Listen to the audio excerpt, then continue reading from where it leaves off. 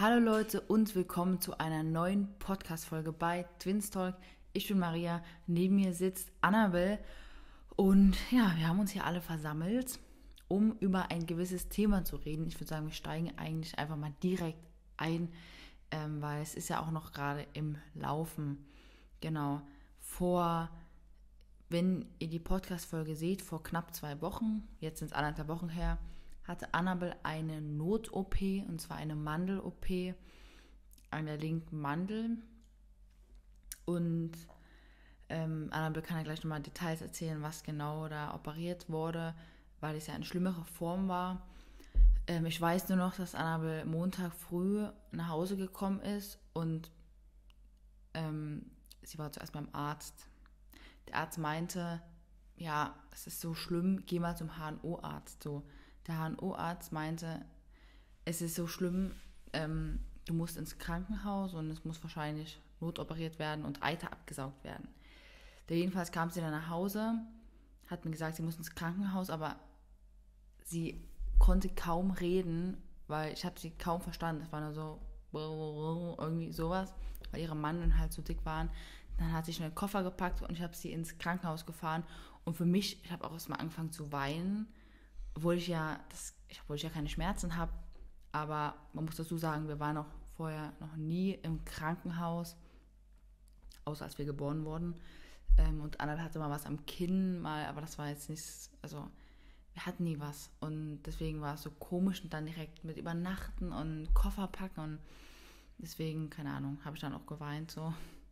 Ja, jedenfalls habe ich sie dann schnell ins Krankenhaus gefahren. Wussten ja gar nicht, was jetzt passiert. Und an dem Tag nach ähm, wenigen Stunden wurde sie dann auch operiert. Ähm, und zwar wurde aber nur die linke Mandel entfernt ähm, und nicht beide, weil nur die linke entzündet war, was am Endeffekt nicht schlau war, weil ja, äh, später dazu mehr, warum es nicht schlau war, warum die nicht gleich beide entfernt haben, weil jetzt haben wir die Sauerei. Naja, ich würde sagen, äh, willst du übernehmen oder jedenfalls ja. Das ist so die Startgeschichte. Wir können ja später nochmal darauf eingehen, ähm, ja, wie ich mich vielleicht auch gefühlt habe. Oder ja, erzähl erstmal, Annabel, wie es dir geht ähm, und erzähl einfach mal, was so abgeht. Vorab, Annabel ist ja immer noch betroffen und deswegen kann sie nicht so viel Emotionen rüberbringen. Also nicht wundern, wenn sie etwas monotoner redet, aber sie ist eigentlich gut gut drauf oft, aber kann es nicht so gut rüberbringen. Ja. Genau, also ähm, ich hatte, ich habe es jetzt mir gerade mal auf meinem Handy aufgerufen, weil ich das sonst nicht aussprechen kann. Und zwar hatte ich ein Peritonsillarabzess auf der linken Seite und es war eine Not-OP, weil ähm, der Arzt meinte, ja, wenn das jetzt weiter ausbricht ähm, oder wenn das noch mehr eitert, geht es halt bis in die Lunge und dann ist es halt auch nicht mal so lustig. Dementsprechend ähm, war das, also musste es direkt an diesem Tag operiert werden. Also hatte ich da echt auch Glück, kann man sagen. Mm. Und genau, ich war fünf Nächte im Krankenhaus und wurde Samstag entlassen.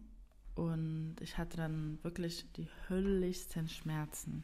Also im Krankenhaus war es eigentlich ganz okay. Da hatte ich drei Tage Antibiotika bekommen, drei Tage ähm, Schmerzmittel durch die Vene und dann hatte ich noch so Schmerztropfen bekommen. Ähm, ich habe aber dann keine weiteren Antibiotika genommen. Und das war der Fehler. Ich hatte ähm, danach extreme Schmerzen, also es war wirklich schlimm. Ich habe geweint, es war heftig. Also es waren wirklich die schlimmsten Schmerzen in meinem Leben. Also wirklich unvorstellbar. Äh, willst du vielleicht noch darauf eingehen, äh, wie es so im Krankenhaus war? Oder machst du das danach? Oder willst du erstmal kurz so Arounder-Story erzählen und dann kannst du erzählen, wie es ja. im Krankenhaus war? Mhm. Genau. Und zwar, ähm, ich erzähle gleich mal, wie es im Krankenhaus war. Auf jeden Fall, ähm, jetzt so vor zwei Tagen ging es dann wirklich besser mit den Schmerzen. Ich habe dann noch, ähm, war noch beim, beim HNO und hat mir noch so andere Tropfen gegeben. Das baller ich mich mit Ibus und irgendwelchen Schmerzmitteln zu. Äh, das hat irgendwie am Anfang auch nicht gewirkt, aber ist im Endeffekt auch egal. Es hat dann auch gewirkt und es ging dann. Und gestern fing das an, ähm, auf einmal an der rechten Mandel, die ist ja noch drin, wie zu tun. Und dann schaue ich mal in meinen Mund und da ist das Ding aber sowas von angeschwollen und auch eitrig und so. Und da dachte ich mir, oh nee, scheiße. Mein HNO-Arzt, der hat jetzt zu.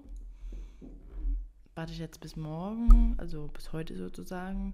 Ich dachte mir, nee, am Ende ist es wieder irgendwas. Lieber, umso früher man beginnt, ähm, desto eher ist man auch dort. Und ähm, mh, mm, Genau, da war ich gestern, äh, bin ich ins Krankenhaus gefahren. Ähm, das war so ein Bereitschaftsdienst. Ich meine, es war 14 Uhr, aber mein HNO-Arzt hat halt schon zu. Und ähm, die haben sich das angeschaut, meinen, ja, das ist eine fette Mandelentzündung. Und ähm, dass es halt sehr, sehr selten ist, dass das so ist. Allgemein, ähm, es haben mich auch viele gefragt, ja, warum haben die nicht beide Mandeln entfernt und so weiter. Leute, ich habe echt keine Ahnung. Es ist schon ein bisschen merkwürdig, weil vor der Narkose bei der OP haben die mich nochmal gefragt, also machen wir jetzt nur die linke Mandel raus? Ich dachte mir, also ihr seid die Ärzte, ihr müsst es doch wissen. Aber ich habe gesagt, ja, also die haben vor oben gesagt, ja, nur die linke Mandel. Und ähm, ja, jetzt hat sich auf jeden Fall die rechte Mandel entzündet, die jetzt noch drin ist. Und ähm, aber die gute Neuigkeit, meine, meine OP-Wunde die tut echt kaum noch weh, also wenig auf jeden Fall. Und das freut mich mega. Aber halt die Mandelentzündung tut jetzt halt weh, ne?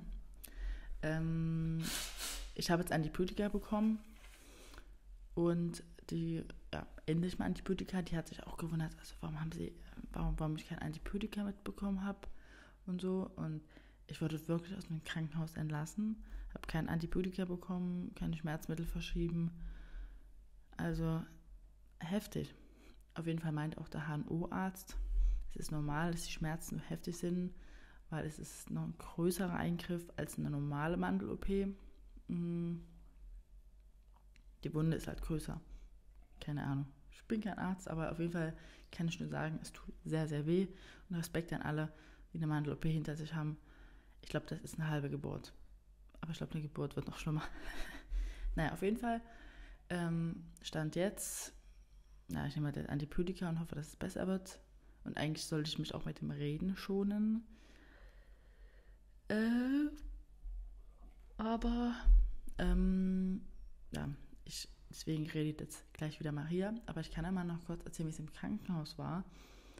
Also irgendwie war es ganz okay, aber irgendwie auch nicht. Am Ende, ich habe mich zwischendurch manchmal so richtig einsam gefühlt, habe geheult und dachte mir, ist alles so scheiße und so. Und das Essen dort war echt null proteinreich oder so. Das, also ich dachte mir, wenn ich jetzt nicht mir noch einen Quark aus der Tasche ziehe, dann war es das. Ich hatte sowieso Schwierigkeiten und Schmerzen beim Essen. Mm. Aber auf Schmerzmittel und so ging es dann auch manchmal tatsächlich. Maria hat mir dann Quark vorbeigebracht, ähm, Proteineis, und harter Käse, Kochschinken und so. Das ging dann auch. Ähm, aber das war trotzdem schade, dass es im Krankenhaus früh und abends immer nur Brot gab, ähm, weil das konnte ich halt auch schlecht essen. Also ich habe es gegessen, aber ich musste das wirklich stundenlang im Mund aufweichen und das war echt nicht so geil. Und ja, aber das so viel zum Krankenhaus. Äh, Jetzt tut mir leid, manchmal muss ich irgendwie so gähnen das tut so unfassbar weh. Mhm. Auf jeden Fall, jetzt steht mir erstmal eine lange Sportpause bevor. Ähm, ja, ich denke mal, vielleicht so drei Wochen nach OP, drei bis vier Wochen nach der OP, dementsprechend so vier, also einen Monat ungefähr Sportpause mindestens.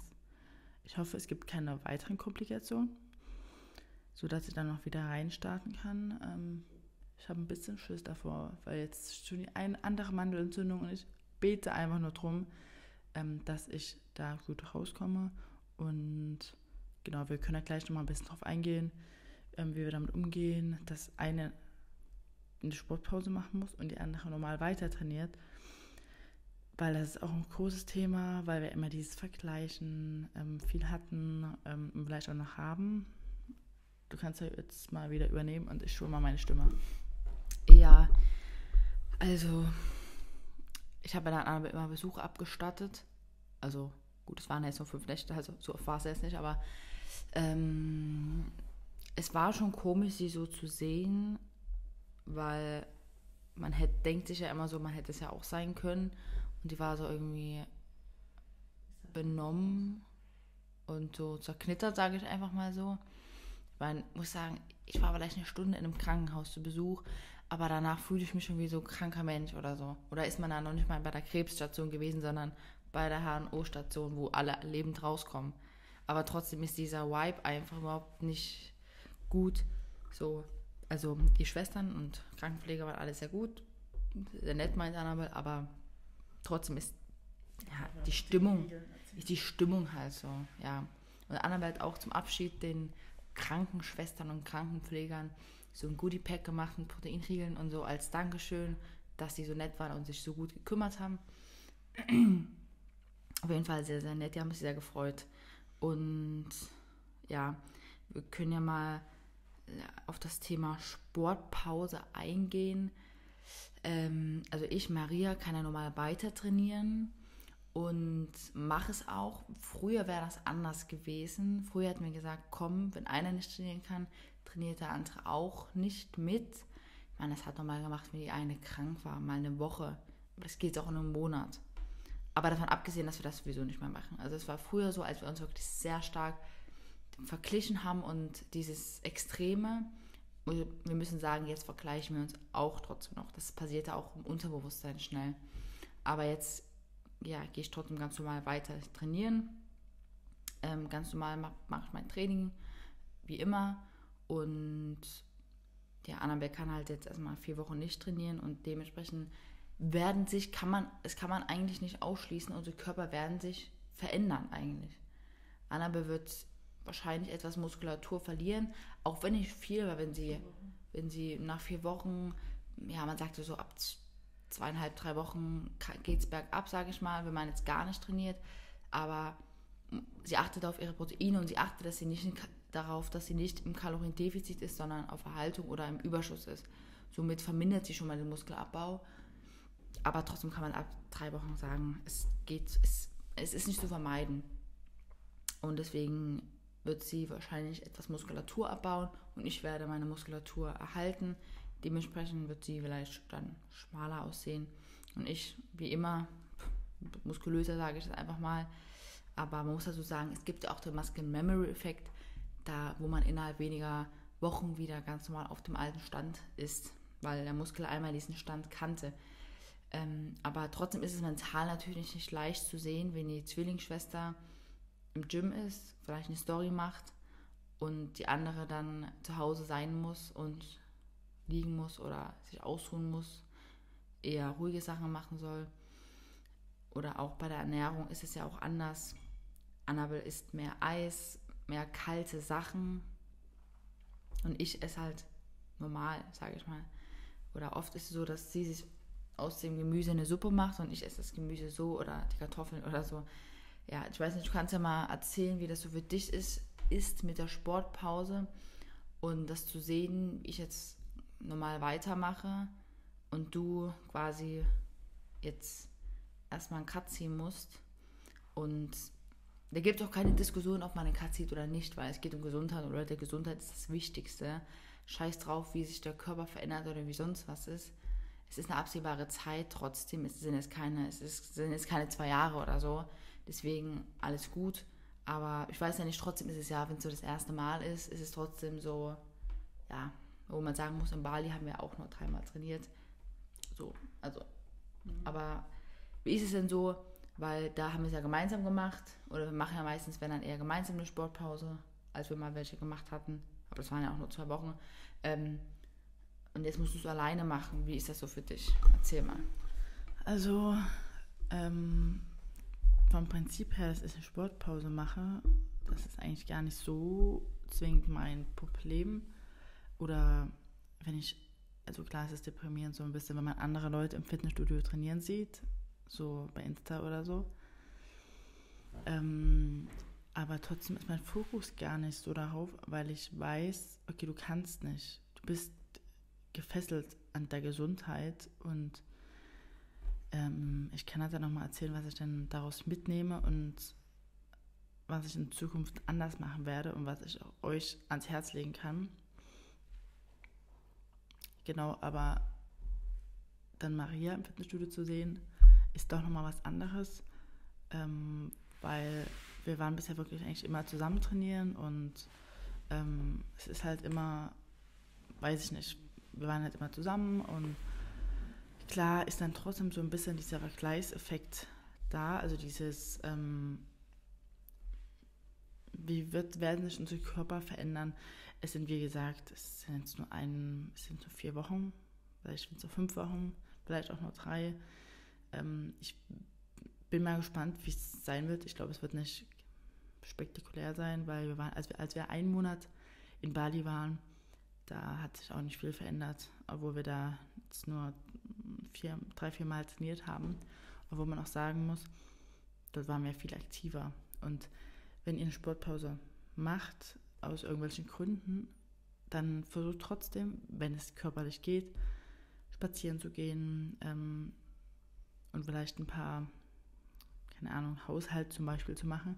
Das äh, vermindert auf jeden Fall schon mal enorm den Muskelabbau. Also wenn ihr normal spazieren geht zum Beispiel und dort ein bisschen Aktivität habt, mindert das den Muskelabbau in einer Trainingspause.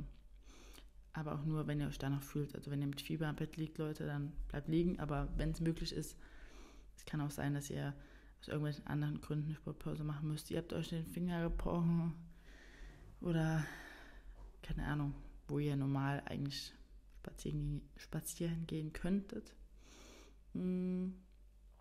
Tut, mir übrigens, tut mir übrigens echt leid, dass ich manchmal so kleine Pausen machen muss oder ähm, vielleicht ein bisschen undeutlicher spreche. Das wird sich dann hoffentlich in der nächsten Podcast-Folge ändern, ähm, wenn ich wieder back bin, Leute. Dann bin ich wieder back on track und habe richtig Bock.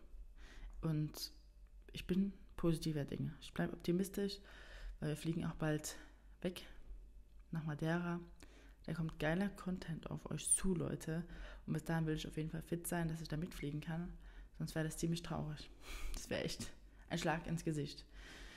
Ähm, und was ich auf jeden Fall daraus gelernt habe, äh, man sollte wirklich viel mehr auf den Körper hören und auf die ersten Signale. Also wenn man schon anfängt, äh, manchmal, mer manchmal merkt man, dass man krank wird, dass man Schnupfen bekommt zum Beispiel. Geht nicht trainieren, Leute. Macht lieber drei Tage Pause und äh, seid dann wieder fit, als drei Tage weiter zu trainieren und dann zieht sich das länger hin. Und nicht nur, dass es extrem schlecht ist für den Körper, fürs Herz und so weiter, sondern es kann wirklich ähm, schlimm und gefährlich werden. Deswegen ähm, drei Trainings weniger oder zwei oder selbst fünf bringen euch nicht zurück. Also die werfen euch nicht zurück aber drei Trainings zu viel, die werfen euch sowas von zurück, wenn es dann ausbricht. Und der Körper hat ein Gedächtnis, also passt auf euch auf und ihr selbst seid die Person, mit der ihr am meisten Zeit im Leben verbringt. Also ihr wollt euch ja lange erhalten bleiben, dementsprechend achtet, achtet wirklich darauf und ich werde es in Zukunft noch mehr beachten. Ich habe es schon mehr beachtet, ich erinnere mich zurück an die Zeiten von früher, mm, als wir so einen Sportzwang hatten. Da habe ich mit Corona trainiert, das weiß ich noch. Aber ich muss sagen, mir ging es echt gut. Also ich habe gar nicht gemerkt, dass ich Corona hatte, aber hatte ich halt, genau, es war übrigens zu Hause, also Home-Training. Ähm, aber jetzt auf jeden Fall, auch wenn ich mich mal besser fühle, man sollte sich nicht überheben. Und ich habe gerade dieses Struggle halt, wir sind selbstständig ich bin nicht krankgeschrieben oder so, weil das bringt ja nichts. Also, ja. Und es war auch schon im Krankenhaus so, dieses Gedankenkarussell, okay, du bist du kannst, du, du, die Arbeit, die bleibt da liegen und so und macht mir jetzt was oder nicht und ich habe dann schon versucht, so ein paar Videos zu schneiden oder so. Und das ist ja nicht so, dass Maria mich komplett ganz vertreten kann. Und da fing schon an, dieses, oh, ich stress mich jetzt wieder schon deswegen, obwohl es mir eigentlich gerade richtig schlecht geht. Und deswegen ist es jetzt auch gerade so, dass ich dann, jetzt wo es mir besser geht, trotzdem halt so mich versuche auszuruhen und wenn ich was mache, dann eher so Sachen, die nicht so aktiv sind, also Videos schneiden, anstatt jetzt Content zu drehen zum Beispiel. Ja, ich würde sagen, du kannst ja mal das Wort übernehmen und ähm, ja, einfach mal nochmal darüber sprechen, wie es dir dabei ging und was du aus der Sache mitnimmst. Ja, ja. Also, ich muss sagen, mit der Arbeit ja, für mich einerseits, es war auch mal entspannt, zu Hause Ruhe zu haben, aber es war irgendwie so leer, sage ich mal. Und es ist natürlich mehr Arbeit dann an mir hängen geblieben, sage ich mal. Jetzt in der Woche, sage ich mal, wir hatten ja schon Termine. Wir hatten ja mal schon Termine. Mussten wir dann verschieben, absagen, was auch immer. Aber auch Sachen, die ich dann einfach übernommen habe, wie Erstgespräche, was auch immer. Das macht meistens Annabel. Das habe ich dann gemacht. Und so, dadurch war es bei mir halt mehr Stress. Aber da habe ich halt teilweise so zwölf äh, Stunden am Tag gearbeitet oder so. Aber es ging auch. Es ging auch. Und es macht auch Spaß. Vor allem, wenn man viel Stress hat, viel schafft. Dann ist man ja auch am Ende des Tages so richtig zufriedengestellt und denkt so, boah, geil, ich habe es geschafft, was gerissen. Das macht auch richtig Spaß. Aber trotzdem habe ich mich da sehr viel gestresst und die To-Do-Liste war ewig lang und es war so ein Hustle. Man ist eigentlich nur so durch den Tag gehetzt. Das hat mich halt sehr unter Druck gesetzt. Aber ich habe dann auch gedacht, okay, mach das, was du schaffst und was du halt nicht schaffst, schaffst du halt nicht. Das ist halt so, kann man nicht ändern. So, man kann jetzt auch nicht zaubern und man muss ja immer sehen, auch was hat man schon geschafft und nicht, was man noch schaffen muss. Genau, deswegen ja, war ich in der Zeit auch ein bisschen sehr ein bisschen gestresst, aber ja, habe trotzdem versucht, bei mir zu bleiben und ja, jetzt ist ja auch alles wieder eingepegelt so. Ähm, deswegen alles gut. Aber ja, für mich war es schon komisch. Für mich tut es mir auch sehr leid für Annabelle, dass es halt so ist, wie es halt ist. Und mache mir halt auch Sorgen, auch wegen dem Urlaub zum Beispiel. Oder wir haben auch bei Trainingslager dass es da halt alles trotzdem eingeschränkter wahrscheinlich stattfinden wird. Also, ja, muss halt dann schauen. Madeira ist ja auch so, wo man viel wandern gehen kann und so, dass man da halt eher versucht, sich da ein bisschen viel mit dem Auto mehr zu machen oder lange Pausen, wie auch immer.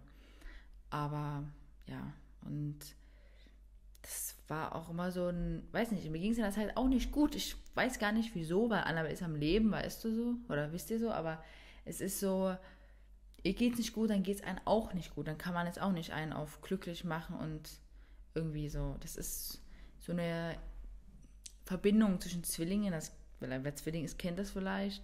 Wenn es dem einen nicht gut geht, geht es dem anderen auch nicht 100% gut. Also klar, mir ging es besser.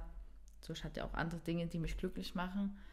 Ähm, ich hatte, keine Ahnung, trotzdem meinen Sport und was auch immer, was mehr Glücksgefühle gibt. Und ja, trotzdem war halt einmal so da. Aber ja, ich habe sie mal besucht, dann haben wir zusammen Eis gegessen und es war ja auch cool. So. Und es war halt mal eine Erfahrung und man lernt ja auch daraus, wie es mal so im Krankenhaus ist und wie eine OP ist. Boah, oh, ich bin müde. Ähm, wohl eigentlich bin ich nicht müde. Ja, ähm, genau, deswegen.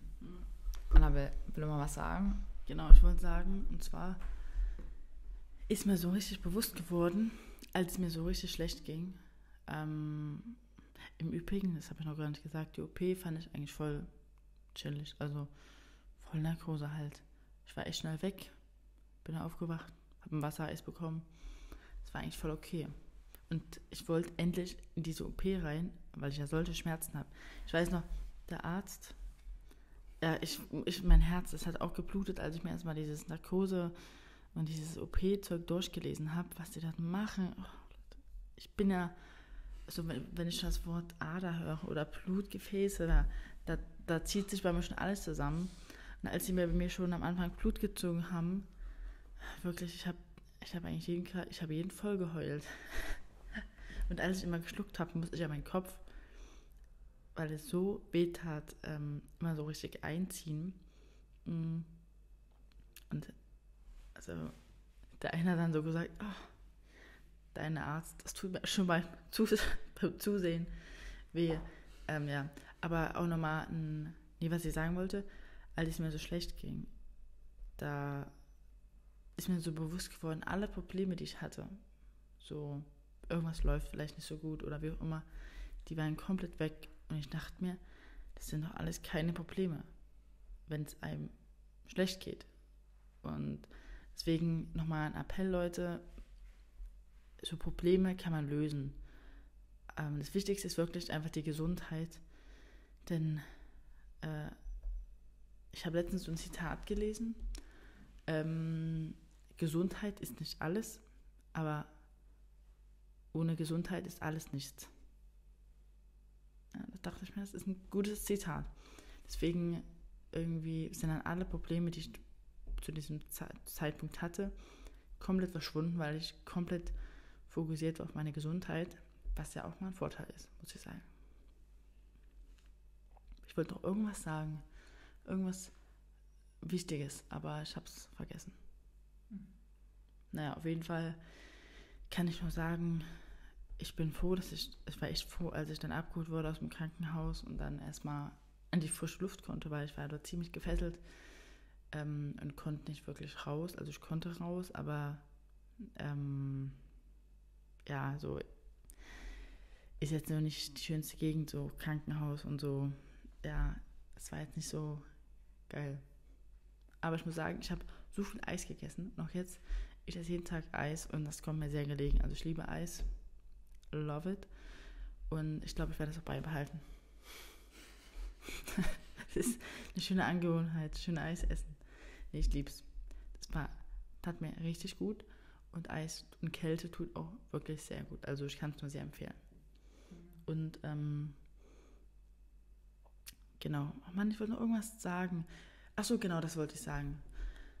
Erstmal wollte ich sagen, ich fand im Krankenhaus das Personal und so, ähm, wie gesagt, Krankenschwestern, Krankenpfleger, Ärzte, wirklich extrem, extrem freundlich und total chillig. Also wirklich war mega. Und nochmal wirklich ein fettes Dankeschön an euch, Leute. Ähm, es haben mir so unfassbar viele geschrieben. Wirklich, ich saß stundenlang daran, die Nachrichten zu beantworten. Wirklich ein fettes, fettes Dankeschön an jeden von euch, an eure Tipps, an eure ähm, Genesungswünsche und was ihr uns alles geschrieben habt. Wirklich vielen lieben Dank. Ähm, ihr seid einfach eine geile Community und äh, ja, auch wenn diese Podcast-Folge gerade wahrscheinlich ziemlich anders ist, vielleicht als die anderen, weil ja, sonst kennt man es immer unter die lustigen, lauten Mädels halt, die eigentlich nur Scheiße labern. Aber heute ist es mal ein bisschen ernster, weil es halt auch ernst ist und oder ein ernstes Thema ist. Aber mir geht es sehr gut und ich konnte mich halt letzte Woche kaum ausdrücken. Also ich habe gesprochen, aber ich konnte nicht lachen. Und es ging immer so, also ähm, es kommt zwar jetzt vielleicht nicht so rüber, aber ich freue mich gerade riesig, dich zu sehen. Und ähm, dann habe ich auch noch so richtig, richtig leise gesprochen, weil es ja wirklich extrem weh tat. Und ich konnte halt nicht so gut betonen oder Emotionen rüberbringen. Also es war wirklich sehr witzig, muss ich sagen. Jetzt ist es schon besser, wie ihr merkt, aber immer noch ein bisschen zurückhaltender, weil es, ja, eigentlich sollte ich nicht so viel reden. Deswegen haben wir solche Podcast-Folge aufgenommen. Aber wir wollten nicht wieder eine ausfallen lassen, weil letzte Woche ist das erste Mal leider unsere erste Podcast-Folge ausgefallen, weil ich war im Krankenhaus, Leute. Es ging einfach leider nicht. Deswegen wollten wir diese unbedingt jetzt aufnehmen. Und hast noch was zu sagen? Ansonsten. Ja, ähm, wenn euch generell Content aus dem Krankenhaus interessiert oder sowas, wir haben bei Instagram oder TikTok Krankenhaus-Vlogs und auch Full Day of Eatings hochgeladen aus dem Krankenhaus, was Annabelle gegessen hat dort, was sie dort gemacht hat und so. Also wen das interessiert oder vielleicht auch eine OP vor sich hat, der schaut auf jeden Fall da mal vorbei. Ist sehr interessant geworden. Ich muss sagen, ich schaue mir das auch gerne an, weil ich habe es ja auch nicht gesehen. Ich weiß ja nicht, was sie dort gegessen hat oder was sie dort gemacht hat. Das heißt, ich habe die Vlogs auch das erste Mal gesehen und dachte mir so, interessant, was meine Schwester da so macht. Ja, ich würde sagen, bevor Annabelle noch, keine Ahnung, kein Wort mehr rausbekommt, ähm, wie sagt man, entlasse ich sie mal oder entlaste ich sie mal, sage ich mal. Und genau, schaut wie gesagt gerne bei Instagram und TikTok vorbei. Dort heißen wir Annabelle und Maria. Dort findet ihr auch noch weiteren Krankenhaus-Content oder auch jetzt wieder ganz normalen Content von uns. Ähm, wir haben jetzt auch eine Fear-Food-Challenge gestartet bei TikTok. Also wer dort in dem Bereich ähm, Interesse hat, kann dort auch vorbeischauen. Und wie gesagt, lasst auch gerne eine positive Bewertung da. Darüber werden wir uns wirklich sehr freuen. Fünf Sterne ist natürlich das Beste. Darüber würden wir uns natürlich am meisten freuen. Oder bei YouTube könnt ihr auch gerne einen Daumen nach oben da lassen. Und das war es mit dem Podcast oder mit dem Video, je nachdem, wo ihr es schaut oder hört. Und wir hören uns beim nächsten Mal wieder und diesmal dann auch in voller Lautstärke und ähm, mit guter Laune. Also wir sind gut gelaunt, aber mit mehr Emotionen. Ähm, genau, aber hier mal so ein kleines Update, wie die Zeit für uns ist oder war. Ja, mal schauen. Ich hoffe, es geht jetzt bergauf und wir updaten euch in der nächsten Folge, wie der Stand der Dinge ist und wir hoffen, dass wir dann wieder 110% da sind oder vor allem Annabelle und wir wieder in voller Lautstärke reden können. Also, das war's, mach's gut oder macht es gut und ciao.